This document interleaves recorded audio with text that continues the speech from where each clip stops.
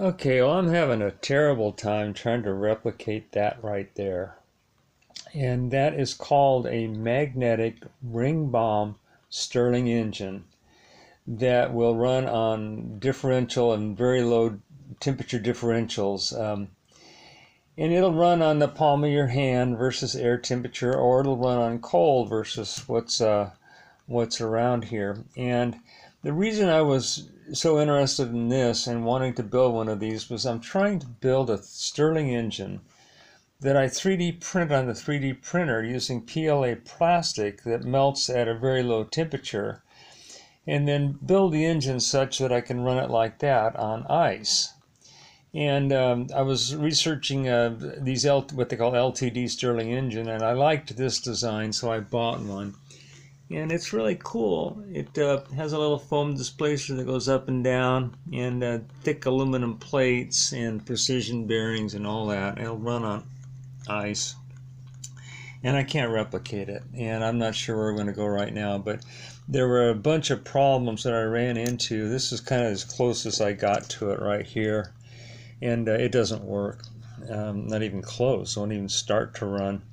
Uh, there's the magnets, and then it has a uh, a foam displacer in it like that that the uh, magnet pulls it up and down and um, I'm not quite sure exactly why I, I cannot get this to work. I've been working on this about a week. This is a long, long fail for me, but this is what happens when you do these projects. Sometimes you just don't ever get them to work. But um, one of the problems I ran into is you can't use steel.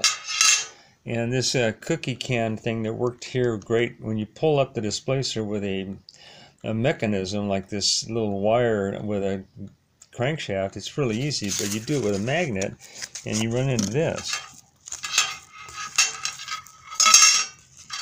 It, it gets attracted to it. So that that right there was an exercise in futility trying to use steel. You know, and I tried different displacers and all that. So then I, I got some aluminum. This is an aluminum um, clipboard. And I started working with that. And I also been trying plastic CDs. And you do have to have thick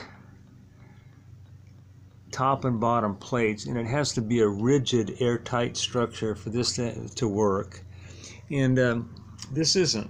This isn't anywhere close to working at all yeah, it's too flimsy. Uh, the tolerances are too loose. Um, just design flaws, but uh, it does have kind of an interesting characteristic because it is kind of loose. I can kind of manually do it.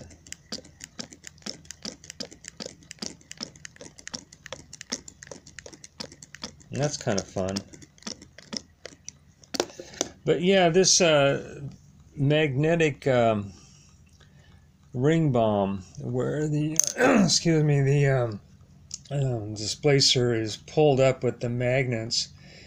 It just looked like such a simple, simple thing, but it's not because when the magnets get close to the displacer, it has a tendency to want to lift the displacer up to the very top when it hits that thing right there.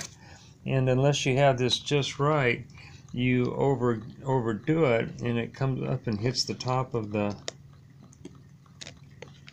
the magnet.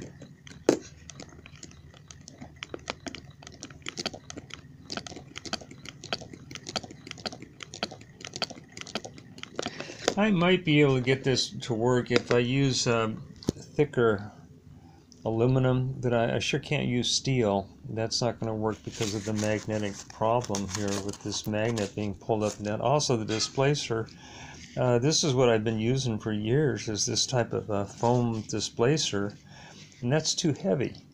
You, you have to use so much magnetism to pull it up then your machine gets too too heavy. So like I say the the things that worked on that design right there where you're pulling up the displacer with a thin wire going around a bell crank like that don't work on this magnetic uh, Ringbom idea. And the other thing is, um, the whole idea of being able to pull this up and down and get that into phase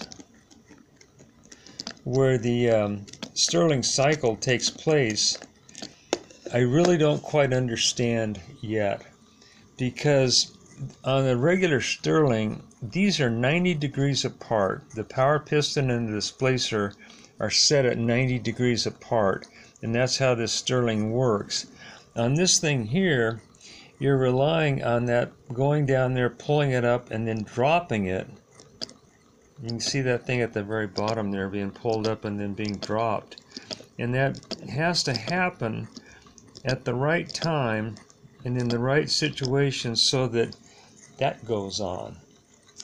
So anyway, this is quite a quite a project. I was initially trying to run it with this uh, cylinder kind of thing right here, and that is a major no-no because it, it's not precise enough. You have to have a precision uh, throw on the piston.